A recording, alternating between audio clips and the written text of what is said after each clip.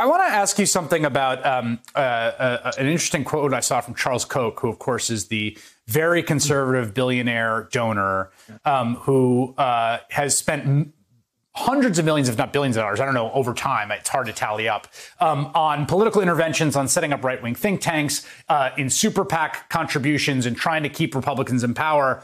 Um, giving an interview, I think it may be from a new book, where he says he regrets his partisanship, which he says badly deepened divisions. And I'm going to read this quote for you Boy, did we screw up, he writes in his new book. I, am just curious, as a frequent critic of Mr. Koch, uh, your response to that. Look, the Koch brothers and their hundreds and hundreds of millions of dollars help create the right wing extremism uh, that we are seeing right now. I'm glad that Mr. Koch recognizes the error of his ways. But he is one of the wealthiest people in this country today. And I think rather than just talking the talk, if he really wants to make a difference, he can say, well, you know what? I'm going to start using my money, and I'm talking about a lot of money, to bring about justice in this country.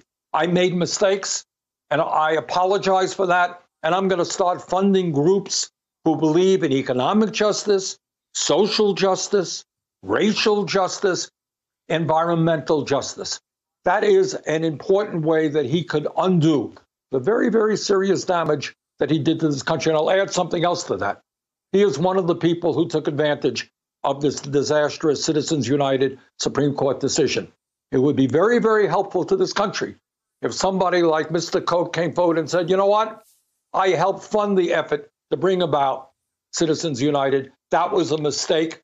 And I think we should rescind that decision that would be a big help as well.